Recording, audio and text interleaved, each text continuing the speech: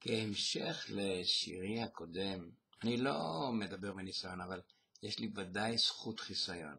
מיטב ידידיי סובלים מרע מאותה סתימה לא ידידותית.